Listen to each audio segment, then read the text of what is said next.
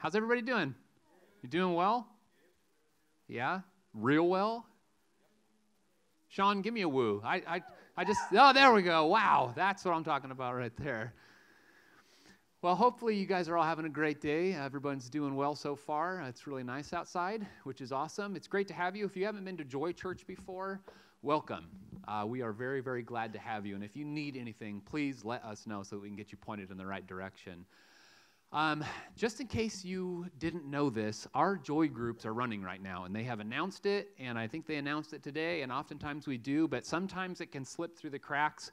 And I'm telling you, our joy groups are a ton of fun. What they are is a they're a time and opportunity for people to kind of get together and and meet, talk about life, talk about what's going on in a in a setting that's a little bit smaller than uh, church like this on a Sunday morning. And so, if you haven't checked one of those out, you should definitely, definitely do that. Uh, you can look at our info center out there and you can see the different types of groups that we have. They meet all over the city, they meet at different times.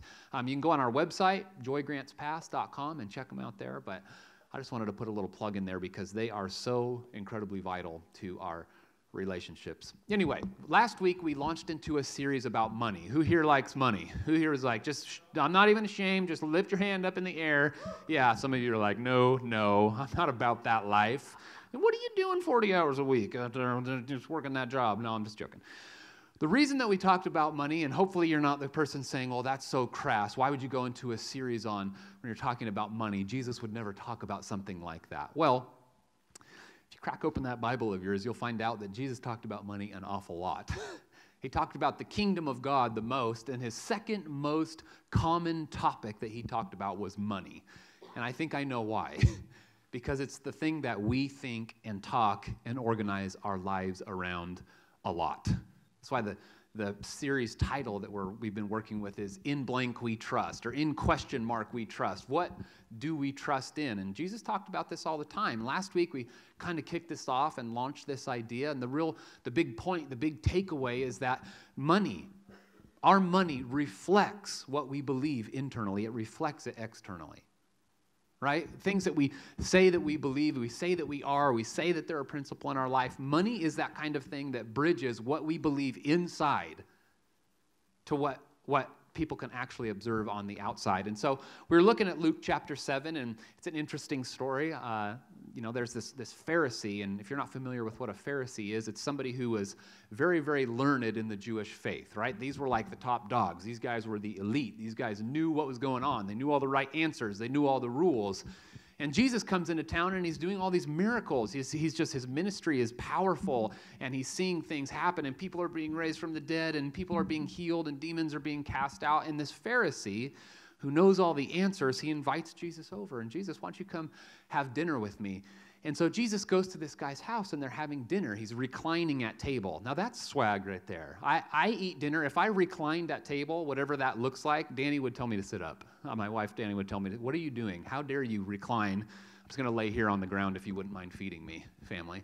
Jesus is reclining at table, right? He's he's hanging out with this Pharisee. He gets invited, and so he goes. And in comes this, what the Bible calls a sinful woman, right? And scholarly consensus believes that this woman was probably most likely a prostitute. And so this is like the most contrast that you can have. You have this super holy, guy's got it all together, Pharisee, and you have this prostitute. And the prostitute, she's not just there, she's actually weeping her tears are falling on Jesus' feet. She's wiping them with her hair, and she's pouring perfume that cost the equivalent of a year's wages on his feet. Anybody ever done that before? Like, this is just such an awkward situation. And I'm a fan of awkward things. I love awkward things. Anyone else here like awkward things? You just love awkward situations? I mean, I was gonna like show a slide or a, a photo or something here, and I, I can't because I would rabbit trail for the rest of our time today just talking about hilarious, awkward things. But this, just the picture is just so. Imagine your most prim and proper friend, and you're like most vulgar, cussing, swearing, you know, no tact, whatever. You're like, I don't know anybody like that. Well, I'm sorry if that's if you don't know anybody like that. Here's the secret: it's you. Imagine like the most proper person you know and the, the least proper, the least amount of tact. You guys like, uh, Aaron, this sounds like every Thanksgiving dinner And you have this situation where both of these people are in the same place, and this Pharisee is just watching this. Like, first of all, Jesus, how, how do you have this amount of control? Like, what would you do if a stranger came up to you and they started kissing your feet? Hopefully, you'd go, Why are you kissing my feet? That's the proper response. You know, the proper response isn't like, Mind putting some perfume on those bad boys as well? Mind wiping them down with your hair? It's weird. If you can't look at this scripture and just go, hmm, that's weird, then you're lying. that's a weird thing. It's just, it's an awkward, awkward situation. And so you, you have this, this uh, situation where this, this woman, like, uh, and this is what we delved into and, and really drilled down on and looked at last week. If you weren't here and you didn't get to see this, you can look at the, the sermon on the website that this woman had, had been forgiven so much. Her life had been so broken. Her life had been so bad. She had been so bound in sin. She had seen things. She had done things. And still, she recognized who Jesus was. And she gave the very best part of her, the very best that she had. She gave her glory, her hair. She gave her tears, her emotions. She gave this incredibly expensive perfume. And she gave it to what would be perceived as the worst part of Jesus. His feet, they're dusty, they're dirty. And this Pharisee is watching this situation like, what is going on? What is happening? I, I recognize that this might be the Messiah. I recognize that this guy might have the answers that I'm looking for, but I'm really here to get something from him.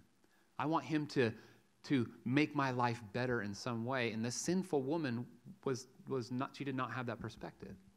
She was thinking, how can I give the most, the best, everything that I have. I recognize who I am and I recognize who this guy is and how much I need him. And there's nothing that I'm going to hold back from this guy. Why? Why was it different? They had a different perspective. They had a different perspective. They saw things from a different angle. They, they were after something different. She was after giving and he was after getting. This Pharisee, he was, he was trying to, uh, uh, you know, pile something in his backpack. Chances are he was a wealthy guy, and he's watching this. And how many of you, when you look at this story, you go, man, this guy, this guy reminds me of myself in some situations. what can Jesus do for me? What can faith do?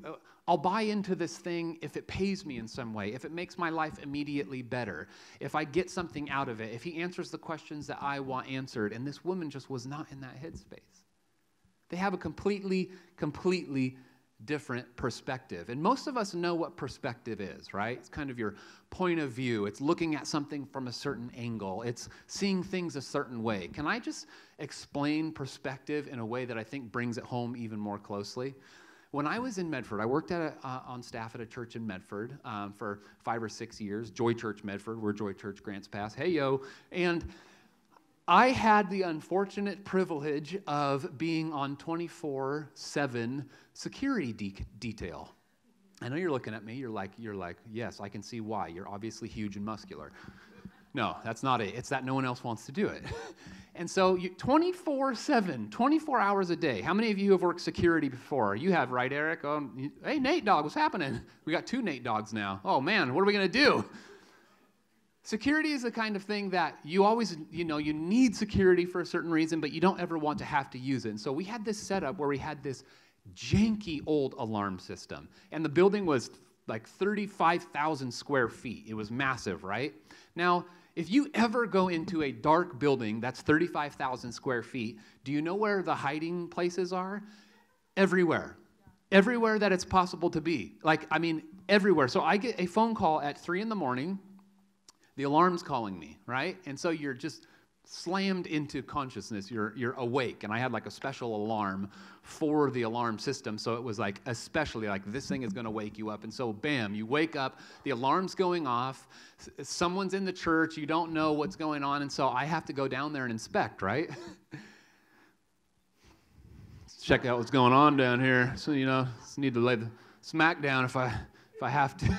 now, I'm just going to admit, no matter how manly you are, when it's 3 a.m., you get woken out of a dead sleep, you go down to the church, it's pitch black, there's scary noises, and you're slinking around.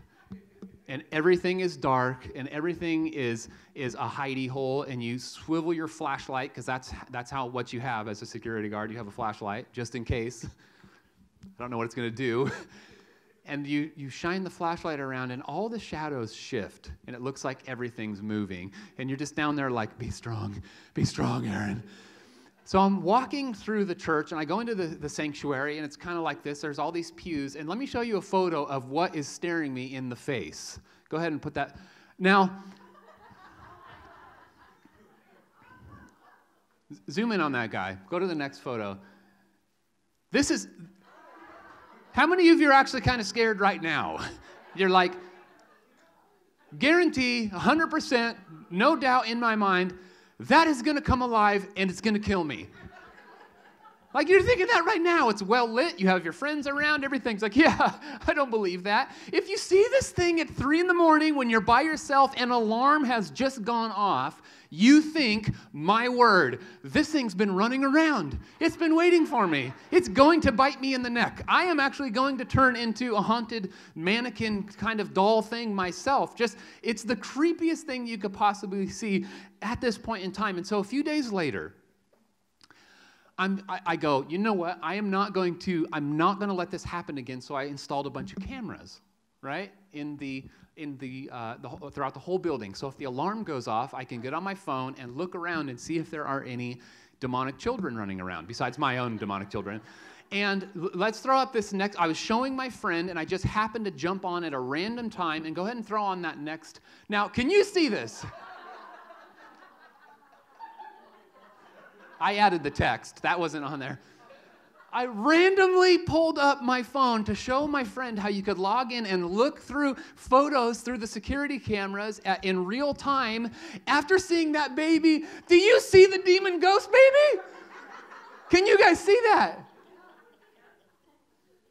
Like, I, I, I tried to play it cool. I was like, hey, man, I want to see how these cameras. Oh, oh, oh, it really was a demon ghost baby.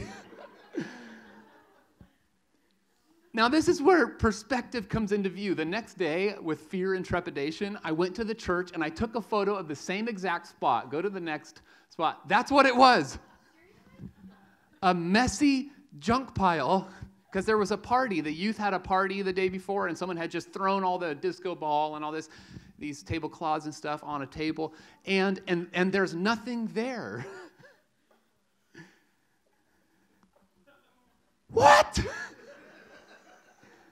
You all see the demon ghost baby in the last photo, right? That, that looks like the scare, that looks like something from a horror movie. I don't know if the lights are still down or if we can bring those back up. Perspective. I saw something that I thought was was there. Maybe it was. I still don't know. Why do you think we moved to Grants Pass?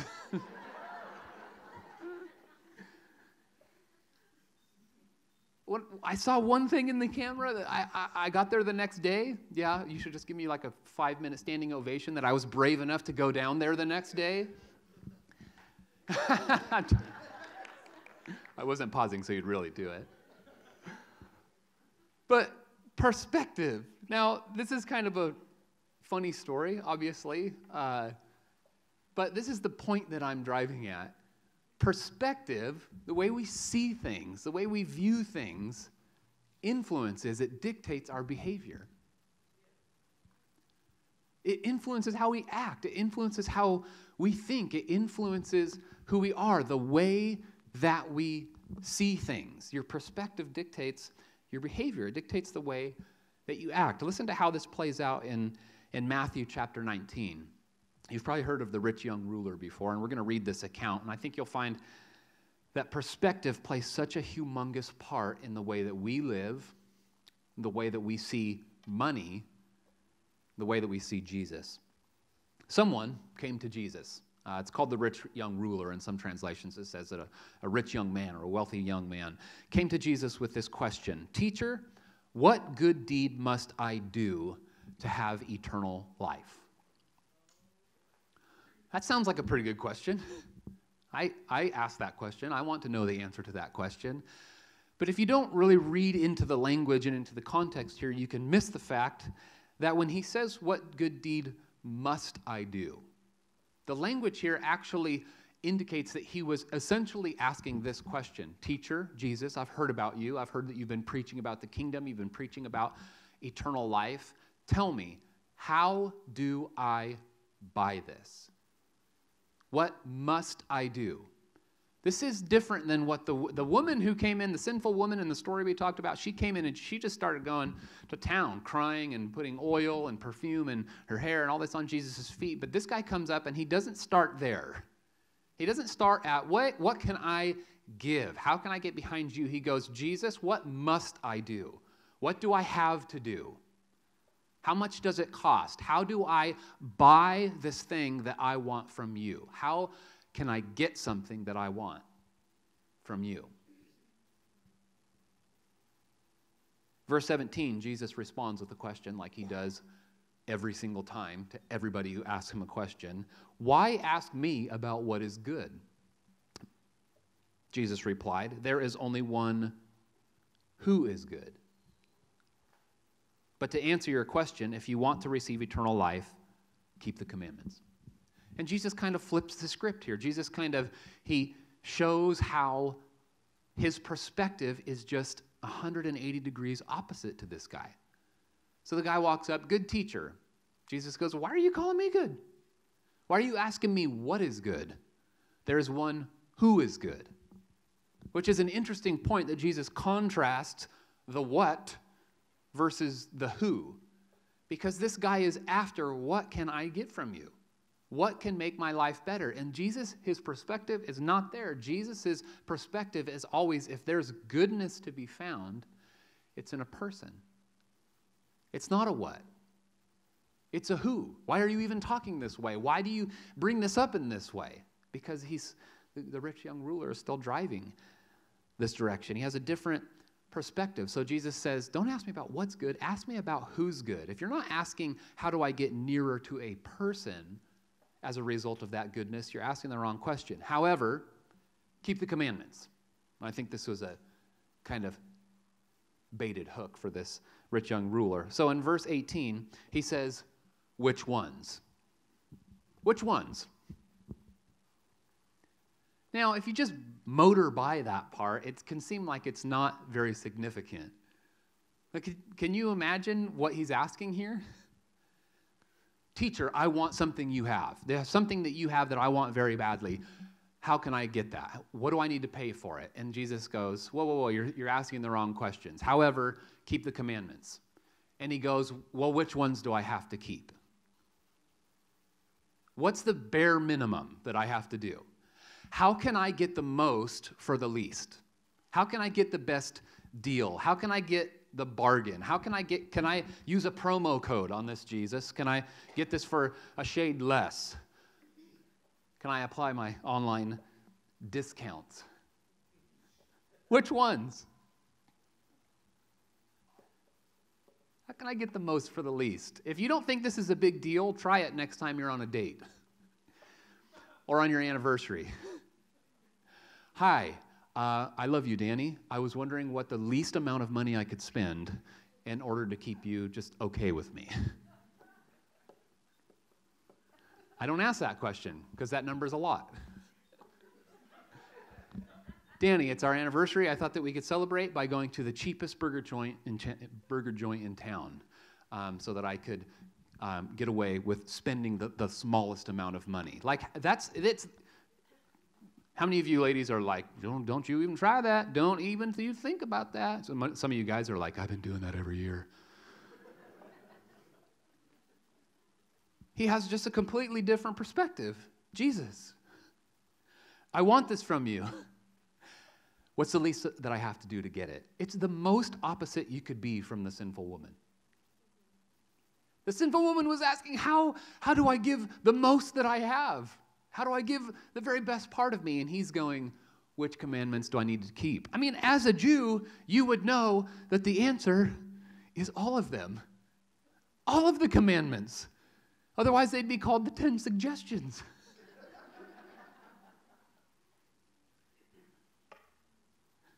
you, could, you could see the rich young ruler. Jesus is like, Keep the commandments. And he's like, How do I talk this guy down? It's like a used car salesman. Jesus is. Which ones do I have to keep? Jesus replied, You must not murder, you must not commit adultery, you must not steal. And he, he starts listing off some of the, the commandments. He lists a representative list, list of the Ten Commandments here. And, and, and so the guy jumps back in, and I, I, I kind of think he interrupted Jesus because Jesus is talking, and, and the rich young ruler in verse 20, he says, Yeah, yeah, yeah, okay, I got it. I've obeyed all of these. I've done these. I've paid this price. Yes, I've done all this from my youth. I get it. What else must I do?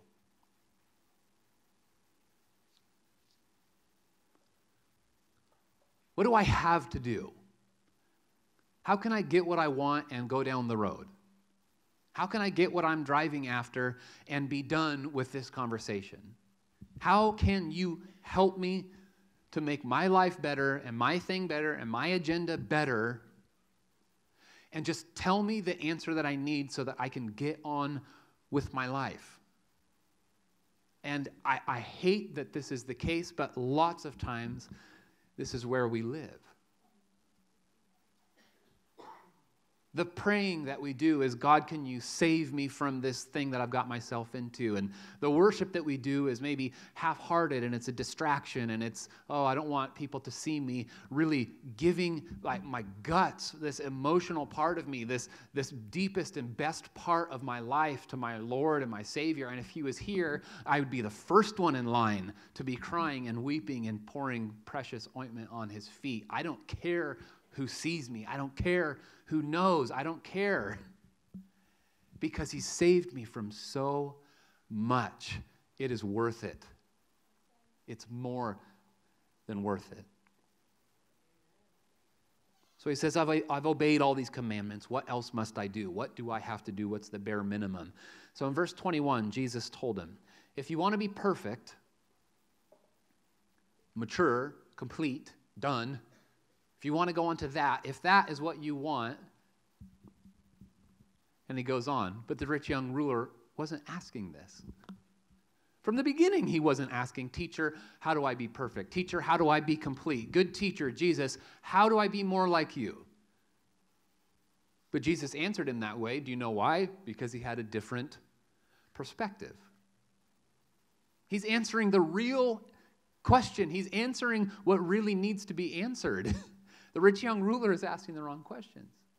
He's asking the wrong questions because he has a wrong perspective. And very possibly, from time to time, you and I have the wrong perspective. And it causes us to ask the wrong questions. And even worse, it causes us to demand the wrong answers. And it's frustrating when God responds to us in the way that is right. But we can't hear it, or we can't see it, or we can't understand it because we're asking in a way that's wrong.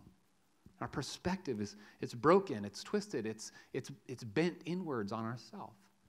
Jesus just won't be sucked into this. So he answers based on his perspective. If you want to be perfect, go and sell all of your possessions and give the money to the poor, and you will have treasure in heaven. Then come and follow me.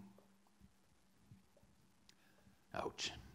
But when the young man heard this, he went away sad, for he had many possessions.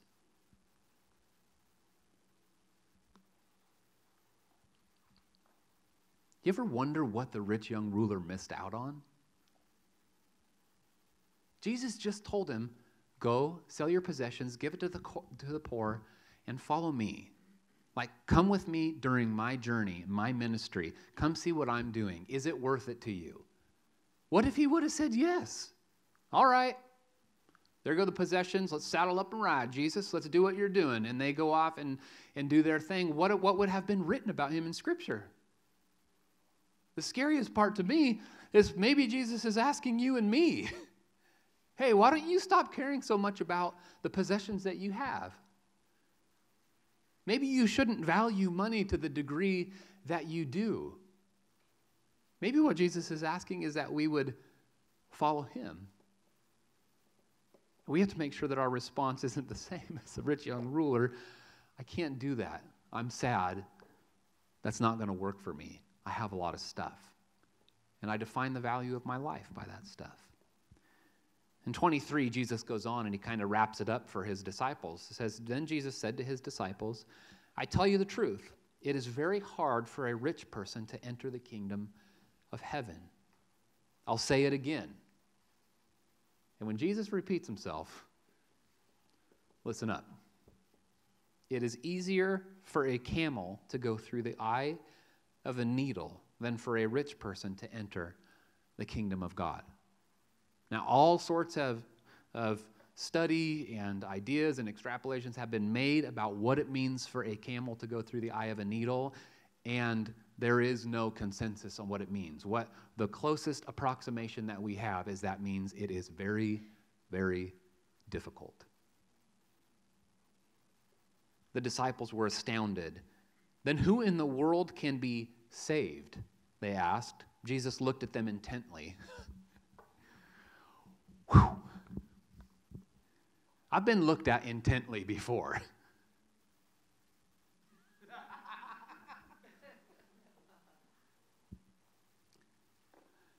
but Jesus looked at them intently. This subject was important enough to him that he repeated himself and he looked at intently. looked at his guys intently. And he, he wrapped up the, the scripture, he wrapped up the end of it. He said, humanly speaking, without God, just on your own, it's impossible. But with God, all things are possible. Jesus' perspective was so much different and probably is so much different than what ours is a lot of the time. The question is are we living in such a way that we are constantly asking God to adjust his perspective to fit ours? Or are we humble enough, like the sinful woman, to come before Him and say, you know what? No matter what it takes, no matter what it costs, Jesus did so much for me. Even if I gave Him everything I have for the rest of eternity, it would never be enough to repay the price that He paid on the cross for me. And I'm glad to give whatever I have. That's the question. Just like the story of the Pharisee and the sinful woman, the question isn't, how do I get something from this guy? The question we need to ask ourselves is, why in the world do I not have the same reaction to Jesus that this woman did? That scares me that I live portions of my life where I'm not soft, I'm not broken. I forget the gift that I've been given. That my entire life should be wrapped around the idea of giving Jesus whatever he wants. Luckily and thankfully, he wants me, he wants my heart.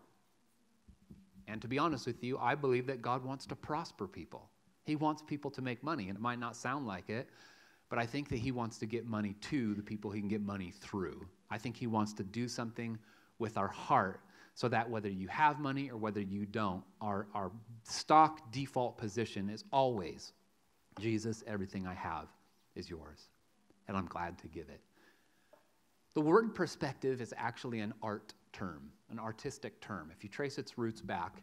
And what it, what it, it, reflects, what it really was used for originally, in the original language, was when you draw a picture, you paint a picture, you draw different objects and they have different relations to each other. How many of you have tried to draw something, a landscape, before, and it doesn't look like it has any depth? It's just 2D, just shallow, like you can't, like, how do you picture a horizon? How do you make the ocean extend out depth wise? How do you draw anything but stick figures? I don't know. That's all I draw.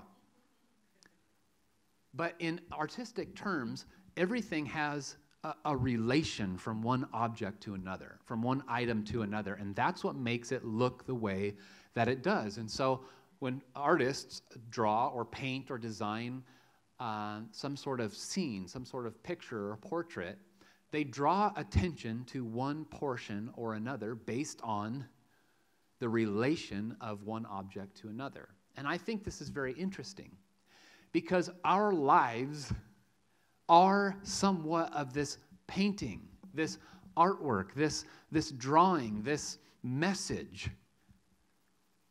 And oftentimes, if we do not have our perspective right. Then oftentimes we're drawing attention away from the object that really deserves to be seen. It deserves to be highlighted. It deserves to be gloried in. It deserves to be enjoyed. And I would suggest that that person, that, that artistic figure, is Jesus. And when our perspective gets broken, what we do is we start drawing the picture of our life and we occupy the center. That greatest place. That's where our attention is drawn, and that's where our eyes are drawn, and that's where uh, our, our time, our resources, our focus, our attention. And when you begin to shift your perspective, you find that just like this woman who was willing to pour out everything that she had and everything that she was, to her, it was worth it. Because everything in her life she wanted to point to Jesus. The Pharisee didn't want that. He wanted everything in his life to point to himself.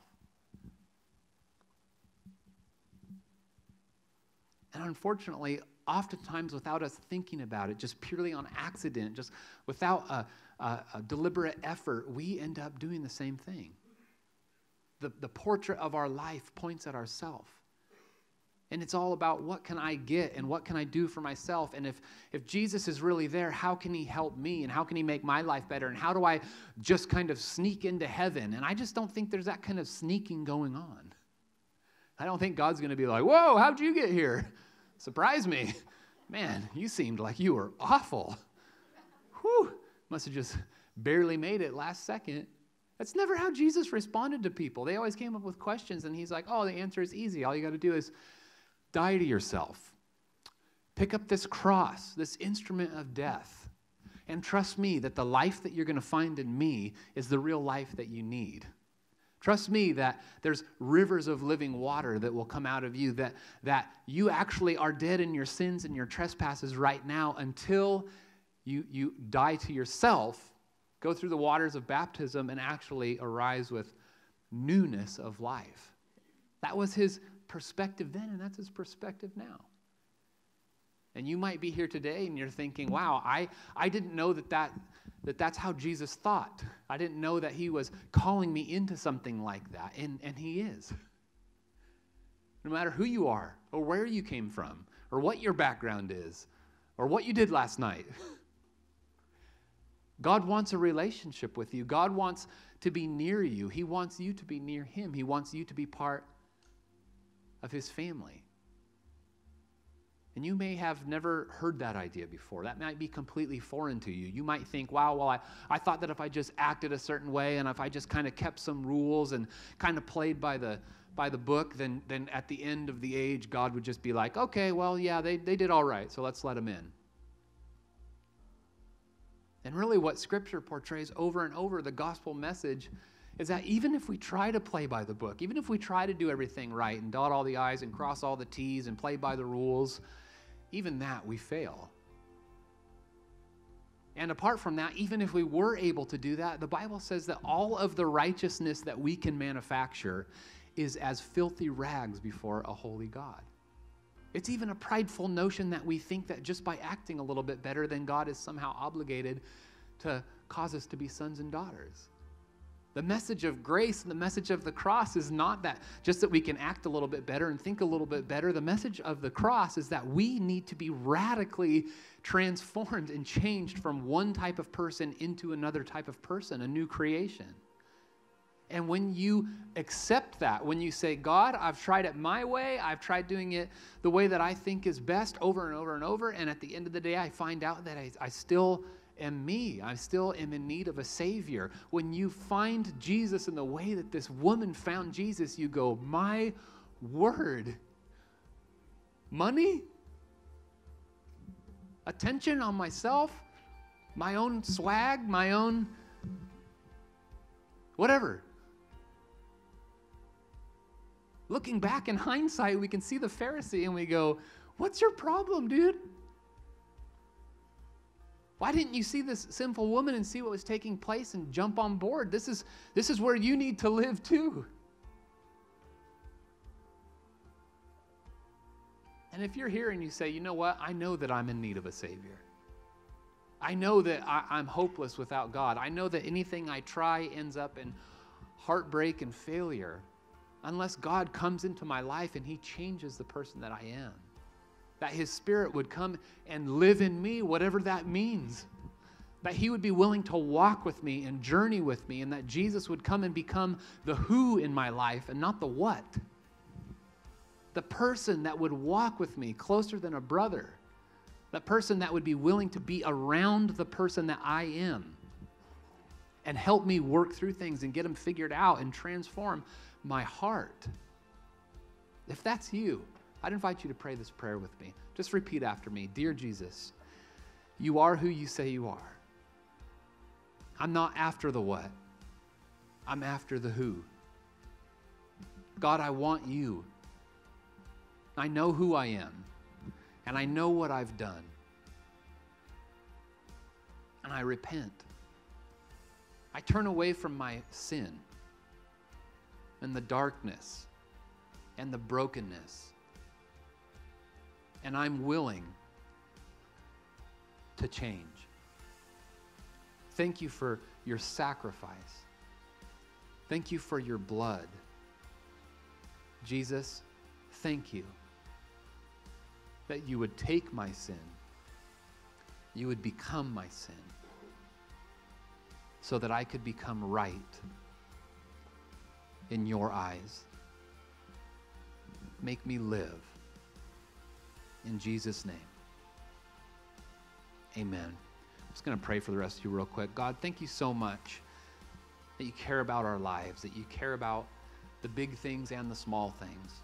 And God, as we study what your word says about money and possessions, God, I pray that we'll begin to see from your perspective that we won't just judge the value of our lives based on what we can get and what we can spend and how we look and how we feel. But God, the basis of how we judge the value of our lives will always be what you did for us and what you do for us and who you are. God, let our lives reflect your prosperity, your abundance, and your willingness to give because you're a generous God and you gave the best of what you had to us. And we want to reflect that and give the best of what we have to you. Father, we love you and we trust you. In Jesus' name, amen.